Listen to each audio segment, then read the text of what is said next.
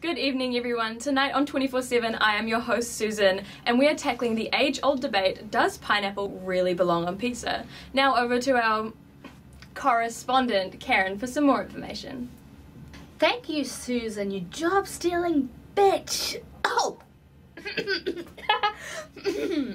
Um, so, according to food scientists, um, pineapple on pizza is a really great pairing. Do The- the- you the- have Science suggests that bitches named Susan are 25% more likely to steal my job.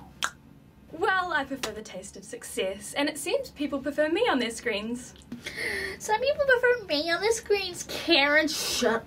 Well, you want to know why I got this job? Do you want to know why I got this job? It's because I look better on screen, I sound better on screen, people actually like me, and I don't get drunk at the staff Christmas party. That's called professionalism. Professionalism? Let me sh- tell you about professionalism, Susan.